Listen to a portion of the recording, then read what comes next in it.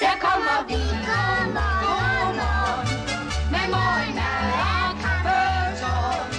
Det skal du have i dag, fordi du tager dig af livsøsters børn. Onkel, hvad laver du egentlig? Hvad? Nej, når du arbejder. Nå, jeg er psykolog. Og hvis de ikke ved, hvad det betyder, så betyder det nemlig, at han interesserer sig meget for børn.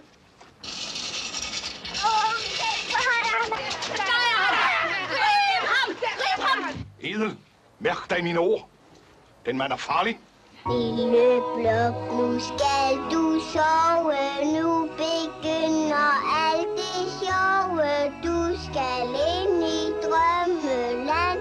Skynd dig lige så stærkt du kan. Jeg mener, det er derfor, ikke sandt? Ja, hvad? Ja, de er langhåret. Nå, nej. Nej, det er fordi pigerne er vilde med... My heart belongs to you. Yes, my heart belongs to you. Only you. Only you. Only you. Only you. Only you. Michael! Michael!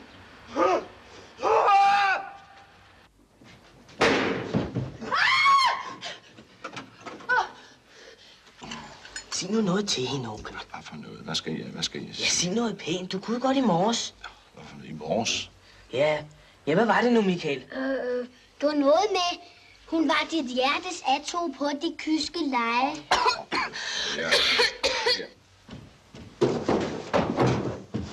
Og onkel, det skulle være en overraskelse. Et smil, et hej. Et dags med dig. Hvad kan vi så ønske mere? Pust af den lune aftenvind. Som et godnatkys på min kind. Det er til dig fra mig. Men kun fordi Det er dig jeg bedst. kan lide. Nu skal du høre, nu kommer der en god en. Man må aldrig nogensinde hisse sig op eller lægge hånd på børn. Hvad lægger hånd på børn? Det vil sige, når vi får ind på skrinet. Og de skal findes i løbet af to minutter. Ellers så får du... Så får du en endefuld. Så får I alle sammen... Alle tiders... Røvfuld, ikke også, onkel? Står der det? Ja. Det er løgn. Alt det med børn har du nu lært. Men er der noget,